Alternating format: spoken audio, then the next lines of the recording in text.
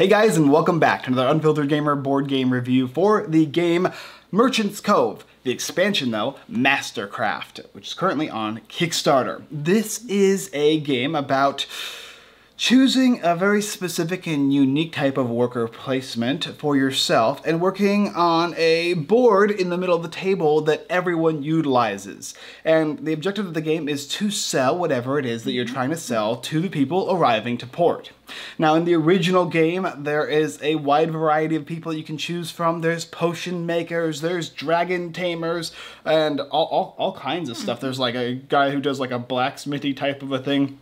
And in the expansion Mastercraft, at least what we have to show you here, are four new additional different type of crafters for the merchants, uh, for, for the uh, customers that you're going to be delivering to off of the port yes. here. We have the pastry chef, we have the treasure diver, we have the mushroom farmer, and we have a detective solving mysteries and they'll each be utilizing their boards and unique type of play styles to sell to the customers arriving to port. In the game, the base game for Merchant's Cove, it's very, very simple. Uh, it's quite a bit of setup, but it's simple nonetheless. Mm -hmm. You mm-hmm. choose your character, uh, you get all the stuff that it corresponds to, and then you're gonna get a piece of paper that illustrates what you need to do for setup and how everything works. So everybody gets to read their own custom rules, mm-hmm. and then there's a base game. The base game is actually really simple. You've got the boats and the people. You're gonna have the victory track, you're going to have uh, these guys here, which you can purchase to give yourself additional bonus points in the, the game. Mercenaries and, and tourists that yep. help you out. uh, there's a time tracker, which is kind of a rondel that as you spend mm-hmm. actions, aka time, uh, the people in the farthest back on the top are going to be the ones going first, and you'll just be moving along the board there, uh, allowing new people to show up in the boats until they get filled to then come to the ports. In which case, once all the ports are filled, then you're going to sell whatever you you have to the people based on their color, and you get multipliers and that kind of thing. There are dangerous cards as well, like these guys here. Um, what are these guys Corruption called? Corruption cards that can give you negative points uh, based on the different types of rogues that we might be dealing with. There's different factions of heroes as well as rogues, like Michael mentioned, that you can also gain favor with those different factions. And so your objective is to sell to these guys. Uh, the game will go by at a, for a certain number of rounds, and whoever has the most victory points on this track here at the end is the winner. Uh, and that's basically the idea of the game. Now, we're not going to go ahead and go into details as to how the game is set up and all that kind of stuff because I have a playthrough video and I have a review video slash walkthrough slash playthrough video of Merchant's Cove, the original game, down in the description, yes. Yep. She's like, she wants yes. to show you the, the, the link. there yes. it is. uh, so instead we're going to do is we're going to just review and cover basically all the unique new characters, because we played them all, um, and talk to you about what they do and whether or not this should be an expansion that you would like to pick up right now. First off, the Mushroom Farmer. The Mushroom Farmer is unique in that it's I think the only character so far that does not have an individual standee. Instead, you have little different uh, insect characters that are helping you farm mushrooms and also a set of action tiles.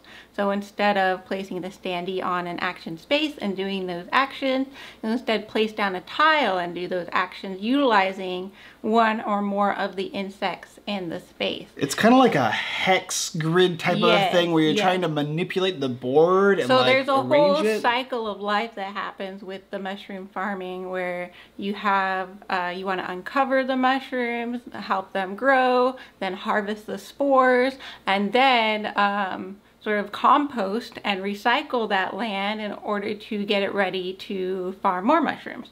So there's a whole cycle of life happening and in addition, instead of just um, from the spores, you combine the spores to create mushrooms in your grow box and you can combine smaller mushrooms to create the large mushrooms which are both the small and the large you can sell at the docks kind of reminds me of those mushrooms that you'd buy in a box and then you water it and they kind of expand and grow and the longer you wait the bigger they're going to get. It's kind of like that right? Where you're trying to manipulate the mushrooms to get to be exactly what the type of thing you want to do and you use the bugs to do that. Yeah you, you utilize you have to utilize the insects really well and the action tiles because that's kind of how you get your favor with the different factions is if you can wait long enough before taking back all your action tiles, then you can gain ben benefits. And if you want to do an action that you've just previously done a round or two, you're going to take corruption Nasty. Uh, let's talk about the diver. The diver is kind of like uh, what's that wonderful game with the weird name? Quacks of Quacks of Quedlinburg. Yeah. Uh, basically, it is a game where you are diving, trying to find pearls and nets and all kinds of goodies, Mm-hmm. and you're attempting to utilize those to then buy, etc., etc., different things items. to put in your bag Then so you can continue to dive. and then eventually you'll be getting out these, buying these necklaces and buying these tikis, and you'll them and you'll selling them. Yeah. Yeah, exactly. And the, the way it works is you're digging into the bag. You'll dig a certain number of times. You'll select a certain number. So it's kind of like a mix of quacks, and it's kind of like a mix of um,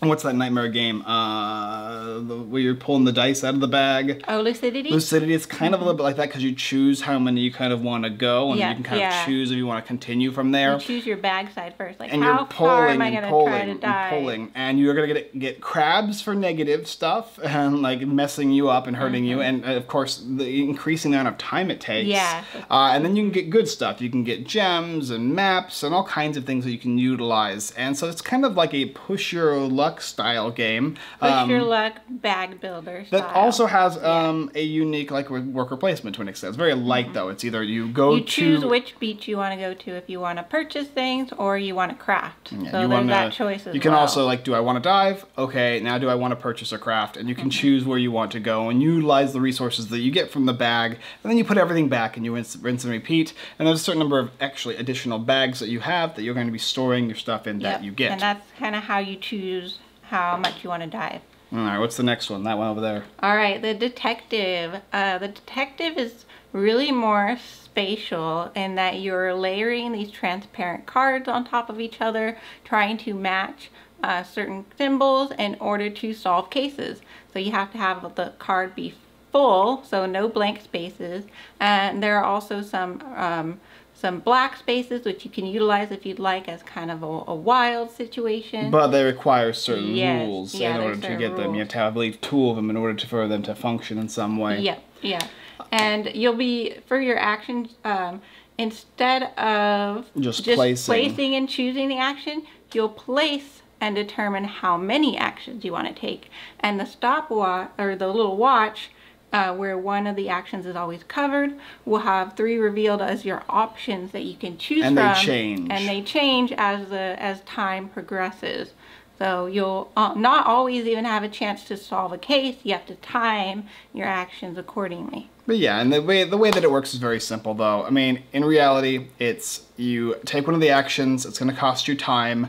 The more time equals the more usage you get, and you just move the cards down from the top onto the bottom locations to fill up a card. You want Mm-hmm. You sets can of also two. stack them on top of each other, which is cool. Right, you can take the Mm-hmm. whole stack and move them, uh, and you get you can get sets of two and sets of three. Twos get you the smaller ones, threes get you the bigger ones. Uh, it's very straightforward. It's probably the most simple of all of, Mm-hmm. Of these. all of these, Yes. yeah, for sure.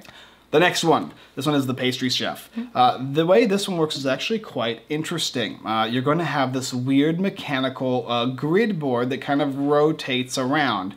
And, um, and this is a prototype, obviously, Yeah, so I yeah. had to be, it was a little finicky, but the one you're going to get is going to be nice. gears that rotate each other. But the way it works is pretty simple. You're going to be basically moving around on the board. You're going to be gathering these little, uh, I guess, pieces of dough. You're going to be putting them Mm-hmm. in the oven in certain areas. And then you are going to be hopefully rotating the middle section that allows all of these guys to move one section. And each of these little sections on each of the grids, when you have a chance to take these little pieces of dough out, basically when Mm-hmm. they become something, you're going to get something. It could be frosting, it's going to be um, points uh, ascertained to a different specific color. So maybe I'm having points for green, and I'll move green up two, and green will actually then turn into a muffin.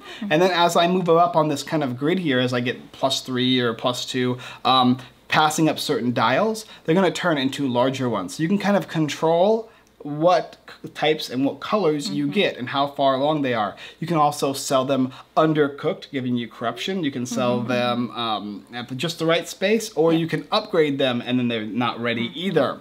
And you have the option of like manipulating the colors and choosing how you want them to move. And you can also manipulate uh, how fast it takes for them to get done and how fast it takes for them to upgrade. And there's a certain starting point for all of these guys, but they can be manipulated as well.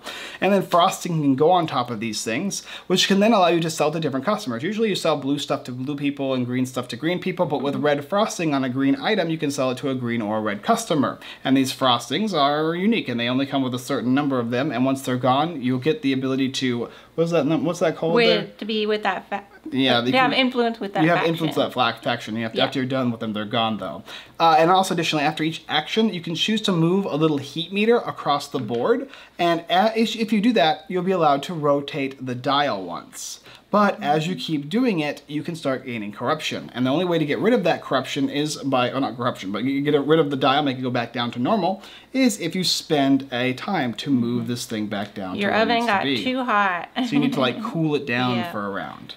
Uh, and that's basically how this thing works. It's either putting frosting down, it's either moving up the different colored pieces on this Mm-hmm. oven track, or it's uh, heating the oven, changing the heat settings, and moving these dials down to make it easier to make smaller, upgrade to larger, and Yeah. then make the full larger ones ready to go. Um, uh, this one's probably, I would say, the second easiest of the bunch as far as at least understanding and how it works. But there's a lot of choices, and a lot of manipulation as to where you're going to be putting the different pieces and how you're going to be rotating them and where you want them to be in the exact locations. So there's a little bit of thought processes to that as well. That's basically how all of these guys work in in association summary, with the base game. So let's go ahead and cover them really quick, and then uh, you can go ahead and pick up the game.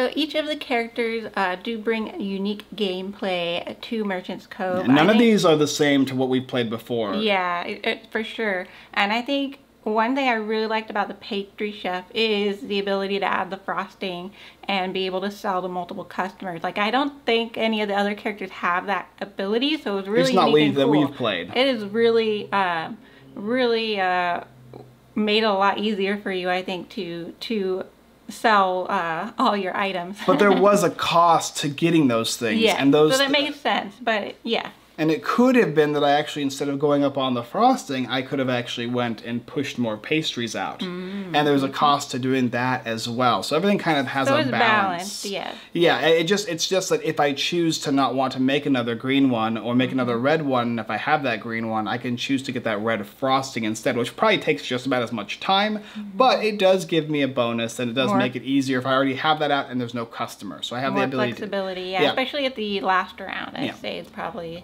good. the gears mechanisms are really cool. The way it all Mm-hmm. functions is nice. How it works is very simple with all the actions. It's going back on the oven heater, rotating the thing, buying, and then, you know, the, the two main actions in the game, and then placing the cubes out. There's placing the cubes, and then there's placing a cube where you want it to go, and then taking the cubes off and doing what they say. And that's it. That's how it works. It's nice and easy. All the actions are also relative to the boards that everybody gets, where you're replacing the different mercenaries and whatnot, which is nice as well. And uh, yeah, I really enjoyed this one. This was probably, I would say, maybe my favorite, maybe my second favorite. I don't know. I think it's cool how too it's like, do I want to wait and turn the dial one or two more times? Oh, that's gonna give me good stuff here, but maybe not here. And so you kind of have to, um, you have to weigh those options as well. So it seemed like there were a lot of, of good choices to make when Yes. playing the pastry chef. Um, then we have the the diver over here, and the diver is like I said, basically like quacks, where you're going into the bag, you're pulling out the things, and then you're placing them down, trying to gather as many as you can Yeah. without going too deep, unless But you're worth first, you're deciding which pack you want to use and how, maybe how far you want to how far you want to go and how much you Yeah. Mm-hmm. want to try and collect without having to suffer too many of the consequences. It's one of those people ga- the, the, the content that's basically like a push your luck, which is kind of cool. I feel like this, even this full set here, is going to give a wide variety of different types of genres of games for people. Um, even though the last ones had a ton as well, uh, that will keep people like interested. So, oh, Yeah. I know my wife really likes quacks, and so this expansion would be good because I want to play this worker placement type of a game with her. So I'm going to go ahead and make sure I get this one because uh, that one has the diver. I know Alicia played the diver because she's she doesn't um well at least she doesn't think of herself as like that spatial visual thinker. So this one seemed like a good choice for her. Yeah. Um, and then we have the detective over here. Uh, Yes. This is a really cool, like movement placement type of a More game. more spatial where you can see okay this is gonna cover that this is gonna fill that spot. It's for those and Mystic Vale and canvas type lovers. You know, you're covering the cards and putting covers and trying to get all as many possible combinations as Mm-hmm. possible to get the things that you want to sell. And it's pretty straightforward. That one is kind of, I would say, the least complex. Put, put, put. And I mean, there is like how you put and when you put and how you choose to utilize your actions is very important. Mm-hmm. But as it stands, how it works and functions, you're just like, okay, okay, this is what I need to do. I can do this or I can do this, and you, you then you just figure out how exactly you want to. What's the best combination What's the best order to do it all in? Yeah, that's actually a really cool one. It's something I probably would like to. That's the one I didn't plan. That probably one I would like to play next, just to see the complexity of it and how I can kind of change and move and mold it. Uh, and then the final one is The mushroom farmers. So definitely also very spatial and planning ahead a lot because you want to basically kind of stagger um, the insects so that they can do the proper thing at the proper time and have the right movement tile ready so that they can go as, as far as possible. Most uh, complex And not one? block your other insects. That's like the most complex one. I think so because there's the four different insects moving around, and then there's different stages that the soil is at, And you have the different and the different colors, you have to choose. and the different actions, and when you want to pull those back. So- uh, there's a lot going on in that. if you one. want somebody, if somebody likes a, uh, a brain burner a little bit more, then that would be one that, to take a look at, I suppose. Mm-hmm. Yeah. Uh, yeah, that would probably be my least favorite of the bunch. I'd be more concerned about trying to do that one because I probably would fail miserably Be trying like, to do "Oh, it. There, I as you play though, like I learned, like okay, I if I had done this, it would have been better because then this wouldn't be blocking here, or I could have gone this way. Um, so it's definitely something you learn and you get better as you play. So that part I like about it. Okay, um, so that's basically covered all these guys here, and then we'll just do a quick review, review summary, basically. Uh, did I like this expansion? Did you like this expansion? I think the answer is a pretty resounding yes. I would say there are certain things about the game that are going to be changed, um, or have been changed since we've got it. There's probably some little changes to the rules or tweaks that can make things easier, especially with the diver, to make it more clear and concise. Especially with yeah the rule books that we got. Yeah, and so I, I feel feel like most of that's fixed. Every I played the original Merchants Cove and all the expansions. They all were easy, all made sense. And I didn't. I'm not super really concerned about that, which is why I'm not even going to really bring it up too much. Um, but like I said, just a little bit on making sure things are concise with these guys. Making But- sure we played it correctly Yes. as as intended. But if I look at this game expansion as a whole, are they different and more and unique compared to the others? And the answer is astoundingly yes. Um, are these fun? And the answer is yes. I would say my favorites are, of course, these three here. That one's I want to try it first. I haven't tried it, so I don't know yet. But it seems like it might be cool. Uh, I didn't have really any issues with this expansion. I thought it was a lot of fun. Uh, I'm actually very excited to see the retail version. Uh, the quality of components is excellent. This is all handmade and put together by hand. So uh, if- Prototype. if you can assume what this is going to look like when it's done, you can assume that it's going to be based on the base game of Merchant's Cove, which is excellent. I, I strongly, resoundingly uh, suggest you getting this expansion. If you bought any previous other expansions from Merchant's Coves, this is one to also pick up as well. If you just have the base game, I would say this is actually. Worth it as well because it's going to give you a lot of like expansions the in a singular variety of gameplay. Like there's something for lots of different types of gamers, which is really the strength of Merchant's Cove is that everyone's kind of playing the different mini game, but we're also all playing together and competitively, and everyone can kind of choose what their craft is, right? What uh, what they want to, how they want to play that, and try to be the best master craftsman. Yes. This Or game is excellent. I have a high recommendation for this game. It's getting my seal of approval. Once again, this expansion gets my seal of approval. We all had a great amount of fun with this one, and I'm very excited to seeing the fully finished version.